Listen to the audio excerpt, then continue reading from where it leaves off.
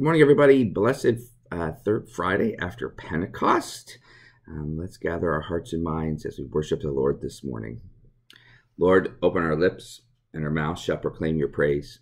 Glory to the Father, and to the Son, and to the Holy Spirit, as it was in the beginning, is now, and will be forever. Amen.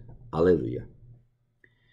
The Lord who has redeemed the world, come, let us adore him. Come, let us sing to the Lord. Let us shout for joy to the rock of our salvation. Let us come before his presence with thanksgiving and raise a loud shout to him with psalms. For the Lord is a great God and a great King above all gods. In his hand are the caverns of the earth, the heights of the hills are his also.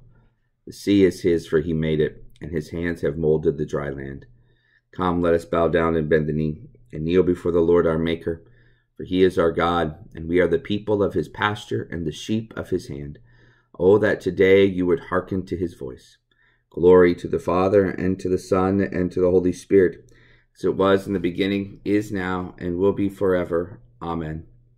The Lord who has redeemed the world, come, let us adore him.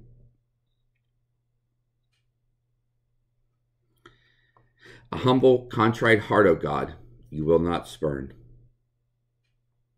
Have mercy on me, O God, according to your loving kindness. Your great compassion, blot out my offenses. Wash me through and through from my wickedness, and cleanse me from my sin. For I know my transgressions, and my sin is ever before me. Against you only have I sinned, done what is evil in your sight. And so you are justified when you speak, and upright in your judgment. Indeed, I have been wicked from my birth, a sinner from my mother's womb. For behold, you look for truth deep within me, and will make me understand wisdom secretly. Purge me from my sin, and I shall be pure. Wash me, and I shall be clean indeed. Make me hear of joy and gladness, that the body you have broken may rejoice. Hide your face from my sins, and blot out all my iniquities. Create in me a clean heart, O God, and renew a right spirit within me. Cast me not away from your presence, and take not your Holy Spirit from me. Give me the joy of your saving help again. Sustain me with your bountiful Spirit. I shall teach your ways to the wicked, and sinners shall return to you. Deliver me from death, O God, and my tongue shall sing of your righteousness, O God of my salvation. Open my lips, O Lord, and my mouth shall proclaim your praise. Had you desired it, I would have offered sacrifice. But you take no delight in burnt offerings. The sacrifice of God is a troubled spirit. A broken and contrite heart, O God, you will not despise. Be favorable and gracious to Zion, and rebuild the walls of Jerusalem. Then you will be pleased with the appointed sacrifices, with burnt offerings and oblations. Then shall they offer young bullocks upon your altar. Glory to the Father, and to the Son, and to the Holy Spirit, as it was in the beginning, is now, and will be forever. Amen. Humble, contrite heart, O God, you will not spurn.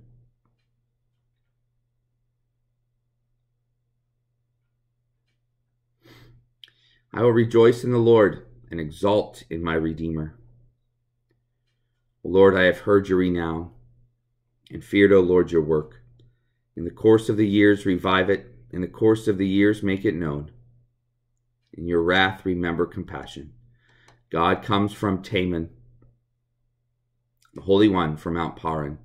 Covered are the heavens with his glory, and with his praise the earth is filled.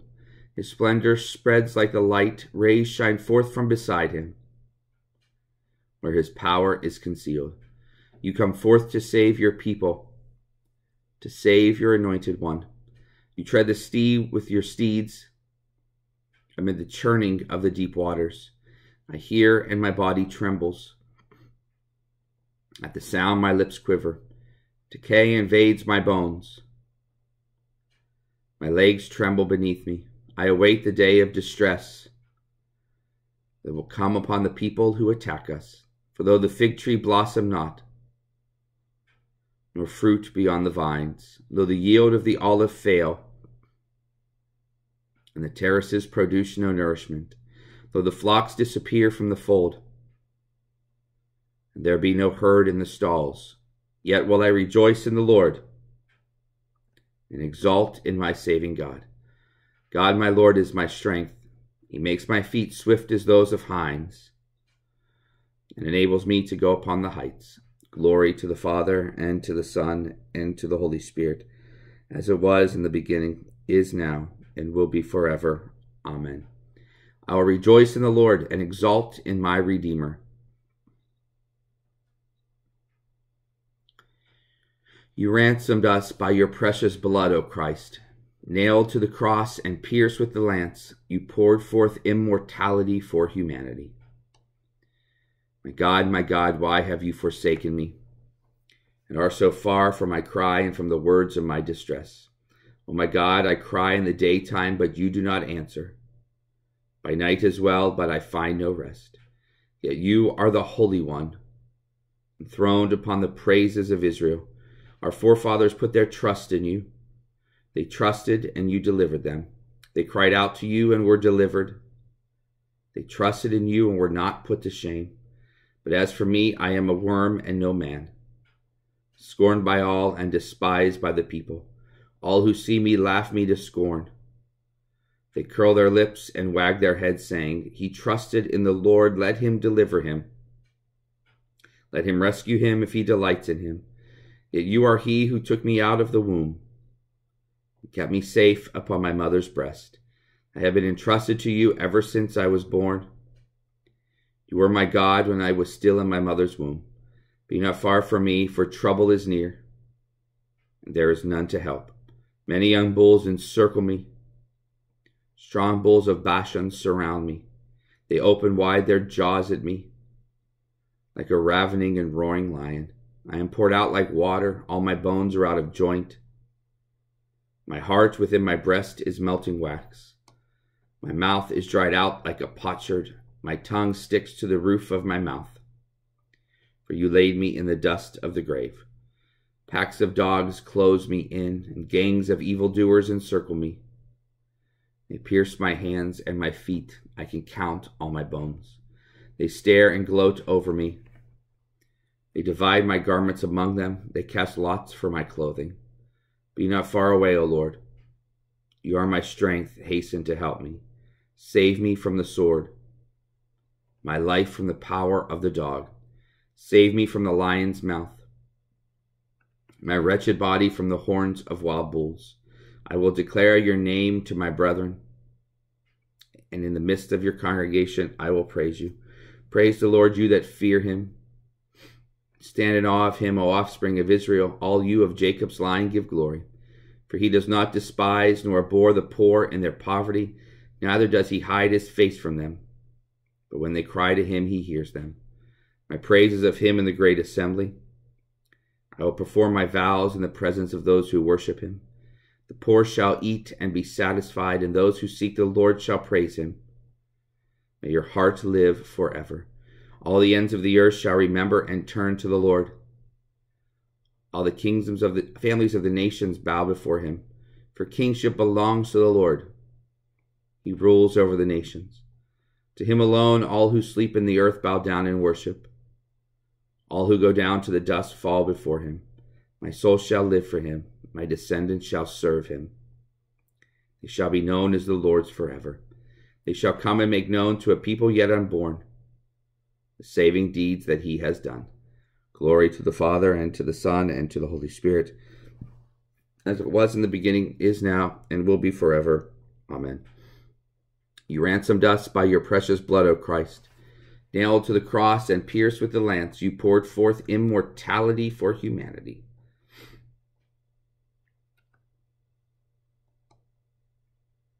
Reading from the first book of the prophet Samuel. Now the boy Samuel was ministering to the Lord under Eli. The word of the Lord was rare in those days, visions were not widespread. At that time, Eli, whose eyesight had begun to grow dim so that he could not see, was lying down in his room. The lamp of God had not yet gone out. And Samuel was lying down in the temple of the Lord where the ark of God was. Then the Lord called, Samuel, Samuel. And he said, Here I am. And he ran to Eli and said, Here I am, for you called me. He said, I did not call you. Lie down again. So he went and lay down. The Lord called him again, Samuel. Samuel got up and went to Eli and said, Here I am, for you called me. But he said, I did not call my son. Lie, lie down again. Now Samuel did not yet know the Lord, and the word of the Lord had not yet been revealed to him. The Lord called Samuel again a third time. And he got up and went to Eli and said, Here I am, for you called me. Then Eli perceived that the Lord was calling the boy. Therefore Eli said to Samuel, Go lie down, and if he calls you, you shall say, Speak, Lord, for your servant is listening. So Samuel went and lay down in his place. Now the Lord came and stood there, calling as before, Samuel, Samuel. And Samuel said, Speak, for your servant is listening. Then the Lord said to Samuel, See, I am about to do something in Israel that will make both ears of anyone who hears it tingle. On that day I will fulfill against Eli all that I have spoken concerning his house from beginning to end. For I have told him that I am about to punish his house forever for the iniquity that he knew because his sons were blaspheming God and he did not restrain them. Therefore I swear to the house of Eli that the iniquity of Eli's house shall not be expiated by sacrifice or offering forever. Samuel lay there until morning, and he opened the doors of the house of the Lord. Samuel was afraid to tell the vision to Eli. But Eli called Samuel and said, Samuel, my son. He said, Here I am. Eli said, What was it that he told you? Do not hide it from me. May God do so to you and more also if you hide anything from me of all that he told you. So Samuel told him everything and hid nothing from him. Then he said, It is the Lord. Let him do what seems good to him.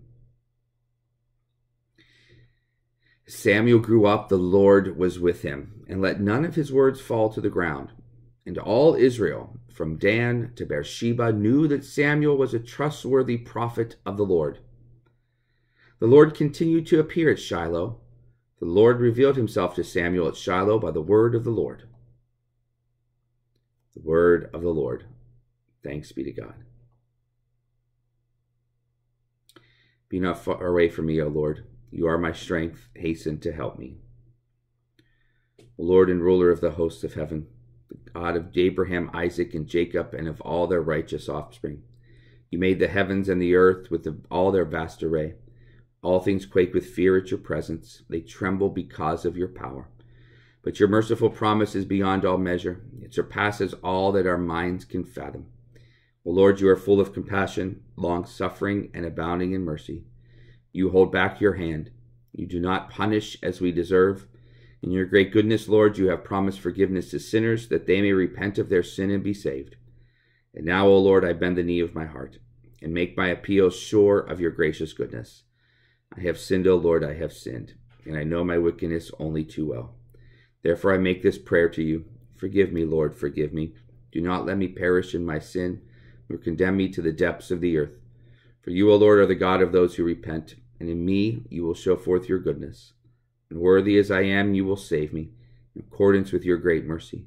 And I will praise you without ceasing all the days of my life. For all the powers of heaven sing your praises, and yours is the glory to ages of ages. Amen. Be not far away from me, O Lord, for you are my strength. Hasten to help me.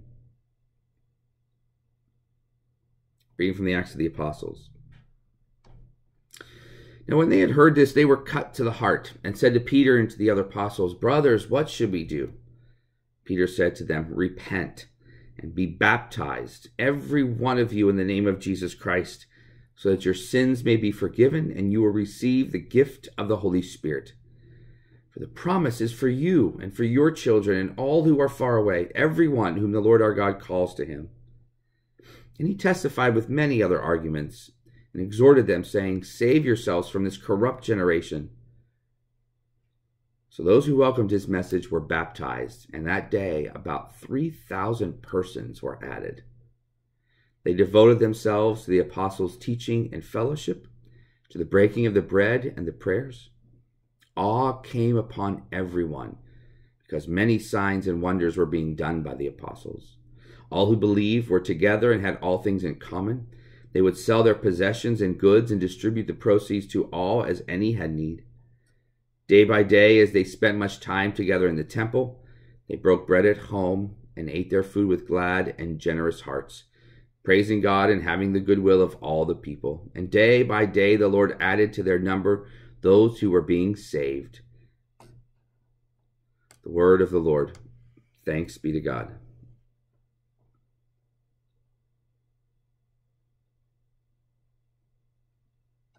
Through the tender compassion of our God, the dawn from on high shall break upon us. Blessed be the Lord, the God of Israel. He has come to his people and set them free.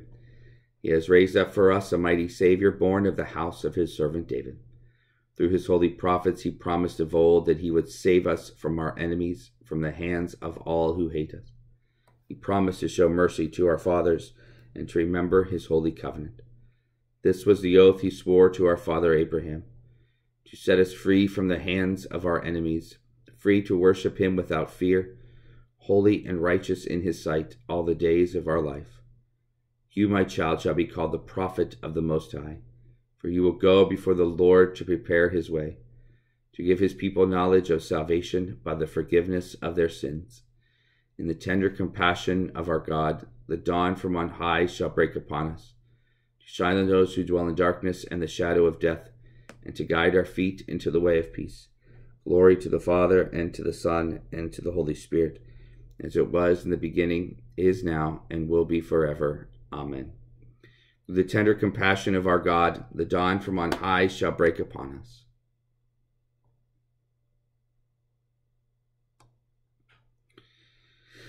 continuation of the treatise of the Lord's Prayer by St. Cyprian of Carthage.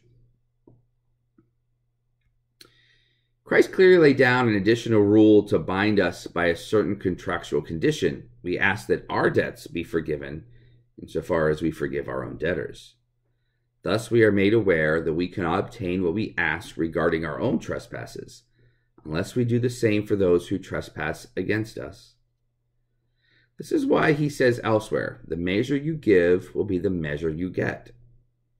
And the servant who, after his master forgives all his debt, refuses to forgive his fellow servant, is thrown into prison. Because he refused to be kind to his fellow servant, he lost the favor his master had given him. Along with his other precepts, Christ lays this down even more forcefully with a most vigorous condemnation. He says, When you stand up to pray, if any have anything against anyone, let it go, so that your heavenly Father may also forgive you. But if you do not forgive men their trespasses, neither will your Father forgive you your trespasses. You will have no excuse on the day of judgment, for then you will be judged just as you have been judged, and you will suffer whatever you have done to others. God bids us to be peace loving, harmonious, and of one mind in his house. He wants us to live with the new life he gave us at our second birth. As children of God, we are able to abide in peace. As we have one spirit, we should be able we should be one in mind and heart. Thus God does not receive the sacrifice of one who lives in conflict. And he orders us to turn back from the altar and be first reconciled with our brother and sister, that God too may be appeased by the prayers of one who is at peace. The greatest offering we can make to God is our peace harmony among fellow Christians, a people united with the unity of the Father and the Son and the Holy Spirit. When Cain and Abel first offered their sacrifices, God considered not so much the gifts as the spirit of the giver. God was pleased with Abel's offering because he was pleased with his spirit. Thus, Abel, the just man, the peacemaker, in his blameless sacrifice, taught humanity when they offer their gift at the altar, they should approach as he did in the fear of God, simplicity of heart, ruled by justice and peaceful harmony. Since this was the character of Abel's offering, it was only right that he himself should afterward become a sacrifice. As martyrdom's first witness and possessing the Lord's qualities of justice and peace, he foreshadowed the Lord's passion in the glory of his own death. Such then are the ones who are crowned by the Lord and will be justified with him on the day of judgment. But St. Paul and the sacred scriptures tell us that the quarrelsome one and the troublemaker, who is never at peace with his brothers and sisters, cannot escape the charge of internal dissension, even though that one may die for Christ's name. For it is written, He who hates his brother is a murderer, nor can he obtain the kingdom of heaven. God cannot abide a murderer. He cannot be united with Christ, who has preferred to imitate Judas rather than Christ. I believe in God, the Father Almighty, creator of heaven and earth. I believe in Jesus Christ, his only Son, our Lord. He was conceived by the power of the Holy Spirit and born of the Virgin Mary. He suffered under Pontius Pilate, was crucified, died, and was buried. He descended to the dead. On the third day he rose again. He ascended into heaven and is seated at the right hand of the Father. He will come again to judge the living and the dead. I believe in the Holy Spirit, the Holy Catholic Church communion of saints, the forgiveness of sins, the resurrection of the body, and the life everlasting. Amen. The Lord be with you. Let us pray. Our Father, who art in heaven, hallowed be thy name. Thy kingdom come, thy will be done, on earth as it is in heaven. Give us this day our daily bread, and forgive us our trespasses, as we forgive those who trespass against us. And lead us not into temptation, but deliver us from evil. For thine is the kingdom, and the power, and the glory, for ever and ever. Amen. Show us your mercy, O Lord, and grant us your salvation. Clothe your ministers with righteousness. Let your people sing with joy. Give peace, O Lord, in all the world, for only in you can we live in safety. Lord, keep this nation under your care, and guide us in the way of justice and truth. Let your way be known upon earth, your saving health among all nations. Let not the needy, O Lord, be forgotten, nor the hope of the poor be taken away. Create in us clean hearts, O God, and sustain us with your Holy Spirit. Keep, O Lord, your household, the church, in your steadfast faith and love, that through your grace we may proclaim your truth with boldness and minister your justice with compassion. For the sake of our Savior Jesus Christ, lives and reigns with you in the Holy Spirit, one God, now and forever. Amen. Almighty God, whose most dear Son went out up to joy, but first he suffered pain, and entered not into glory before he was crucified. Mercifully grant that we, walking in the way of the cross, may find it none other than the way of life and peace. Through Jesus Christ our Lord. Amen. Lord Jesus Christ, you stretch out your arms of love on the hard wood of the cross, so that everyone might come within the reach of your saving embrace. So clothe us in your Holy Spirit, that we, reaching forth our hands in love, and bring those who do not know you to the knowledge and love of you for the honor of your name. Amen.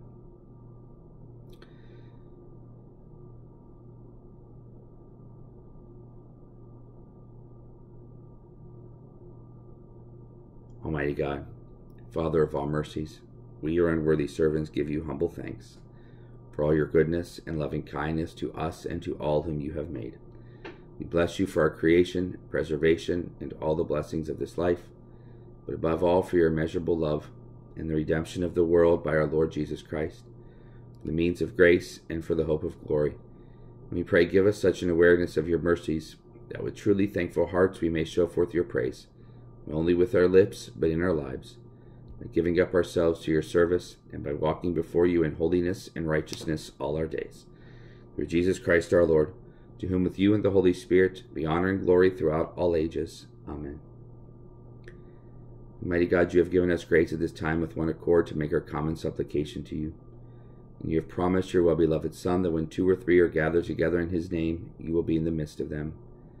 Fill now, O Lord, our prayers and petitions as may be best for us, granting us in this world knowledge of your truth, and in the age to come life everlasting.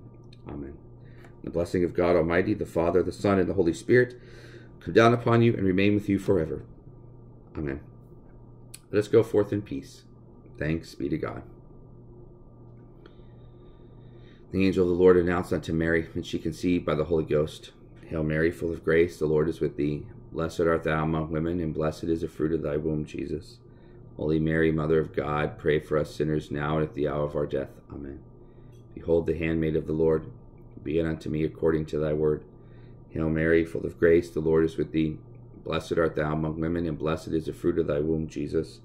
Holy Mary, Mother of God, pray for us sinners now and at the hour of our death. Amen. And the Word was made flesh and dwelt among us. Hail Mary, full of grace, the Lord is with thee. Blessed art thou among women, and blessed is the fruit of thy womb, Jesus. Holy Mary, Mother of God, pray for us sinners now and at the hour of our death. Amen. Pray for us, O Holy Mother of God, that we may be made worthy of the promises of Christ. Let us pray. We beseech you, O Lord, pour thy grace into our hearts, as we have known the incarnation of thy Son, Jesus Christ, announced by the message of an angel to the Virgin Mary, so by his cross and passion we may be brought to the glory of his resurrection through the same Christ our Lord. Amen. Saint Michael the Archangel, defend us in battle. Be our safeguard against the wickedness and snares of the devil. May God rebuke him, we humbly pray. And to thou, O Prince of the heavenly host, by the power of God, cast into hell Satan and all the evil spirits, prowl about the world seeking the ruin of souls. Amen. Thank you all for joining for this third Friday after Pentecost. Just a reminder, Deacon Colleen will be here tomorrow for a pre-recorded morning prayer at 9 o'clock, and then we're back in the church at 10 o'clock for the fourth Sunday after Pentecost. Hope you have a blessed Friday. Be not afraid. Christ is risen. Have a great day, everybody.